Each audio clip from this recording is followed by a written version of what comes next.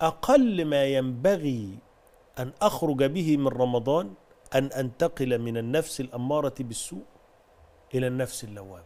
الله الله الله. يعني كون ان أنا يدخل عليا رمضان وينتهي وأنا النفس الأمارة بالسوء لسه موجودة. يبقى كده أنا ما استفدتش. نعم. يظهر في النفس الأمارة بالسوء عاوزة تعصي ربنا فتاكل. نعم. أمرها بالصوم. نعم. عاوزه تعصي ربنا ف ولذلك الصيام يقول إيه؟ الكف عن شهوتي الفرج والبطن. والبطن. آه نعم. والكف عن كل ما يغضب الله. والكف عن طبعا إحنا بنتكلم بقى في درجات الصيام عموما. نعم. لأن إحنا عندنا صيام العوام وصيام الخواص وصيام خواص الخواص.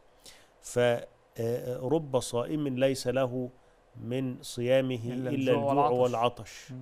هو كده عرف يعمل control في الناحية المع... ال- ال- المادية بس مم. الأكل والشرب واتيان النساء العلاقة الزوجية مم. لكن ما عرفش يعمل control في الأخلاق ما عرفش يعمل زي ما حضرتك قلت الغضب ساب ما هو الصيام بيعلمنا كل ده فإن سابه أحد أو شاتمه فليقل إني امرؤ صائم. يبقى الصيام بيعلمني ال control فين.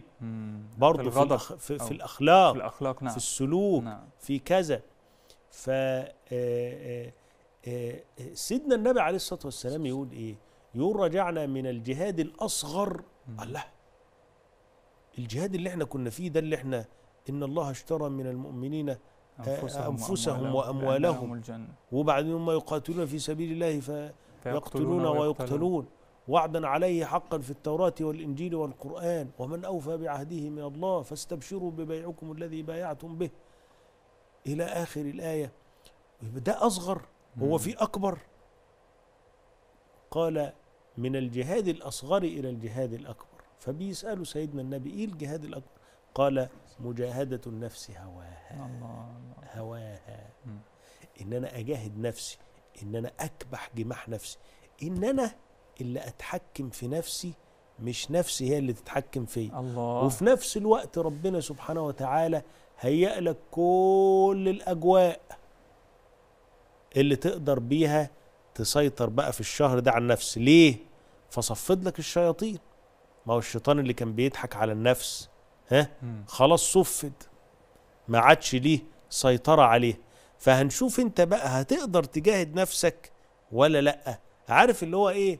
راح فاتح لك ال- ال- الطريق وشلك كل المعوقات وقال لك انجح بقى اهو. نعم نعم. طب لو ما نجحتش؟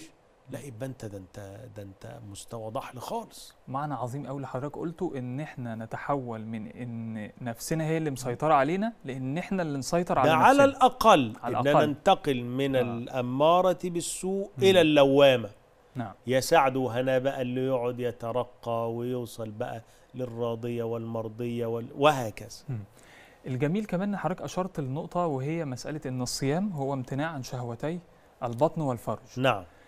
وهنا آه، يجي التأمل لمسألة إن الشهوتين دول ممكن يكونوا حلال في في بقية الوقت بس ده هو ده صح في ده الوقت ده ده هو ربنا آه. سبحانه وتعالى في آية الصوم بعد وإذا سألك عبادي نعم. على طول نعم قال أحل لكم ليلة الصيام الرفث الرفث إلى نسائكم. إلى نسائكم نعم يبقى إحنا عندنا في فترة النهار دي بس من الفجر إلى الغروب. آه إحنا بنمتنع أو بنكف أنفسنا عن هاتين الشهوتين بشكل أساسي مم. من المغرب إلى الفجر لا متاح مباح.